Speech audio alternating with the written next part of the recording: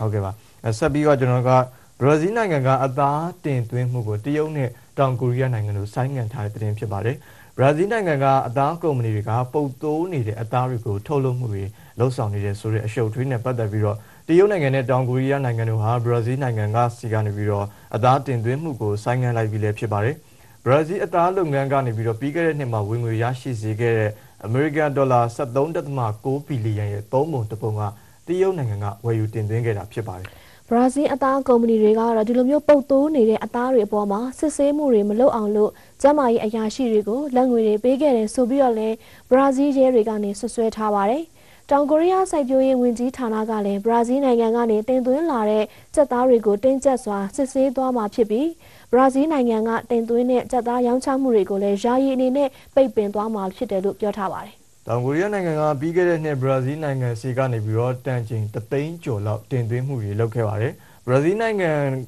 ရဲတွေကတော့ပြီးခဲ့တဲ့ဂျာတာဘရီနေ့ကအသားစိမ်းထုတ်လုပ်တဲ့ကုမ္ပဏီကြီးတွေရဲ့ရုံးကိုဝင်ရောက်ရှာဖွေတာတွေလုပ်ခဲ့ပါတယ်။အဲ့လိုရှာတဲ့အချိန်မှာဘရာဇီးအသားကုမ္ပဏီကြီးတွေကတော့စက်ယုံတန်ရှင်းမှုမရှိတာကိုမတိကျိုးကျွံပြုစီဖို့အစိုးရတာဝန်ရှိတဲ့သူတွေကိုလက်ငွေထိုးခဲ့တယ်လို့ရဲတွေကပြောတာဖြစ်ပါတယ်ခင်ဗျ။ဟုတ်ကဲ့ပါရှင်